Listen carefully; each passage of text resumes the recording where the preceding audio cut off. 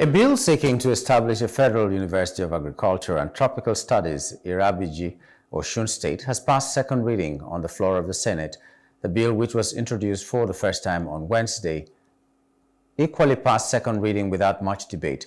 Sponsored by the leader of the Senate, Opeyemi Bamidele, the bill was given accelerated passage and sent to the Senate Committee on Tertiary Education and TETFund to report back in three weeks.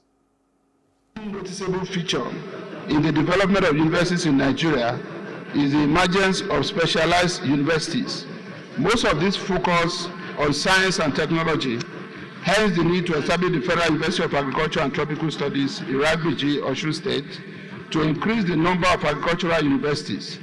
This will help the, this will help the back to land policy of the federal government to ensure the diversification of our national economy.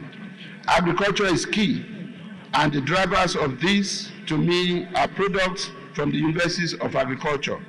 I therefore advocate for the establishment of more universities of agriculture and tropical studies across the country.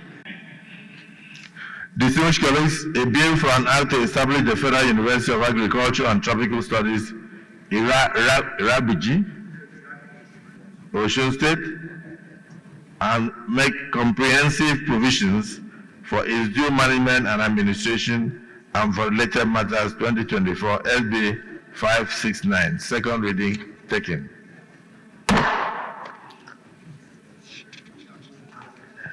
This bill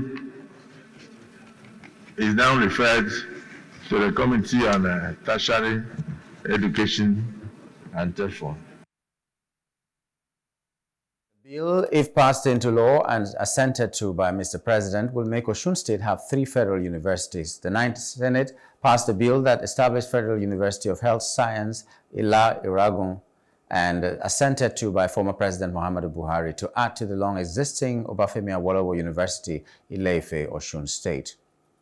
Hello, hope you enjoyed the news. Please do subscribe to our YouTube channel and don't forget to hit the notification button so you get notified about fresh news updates.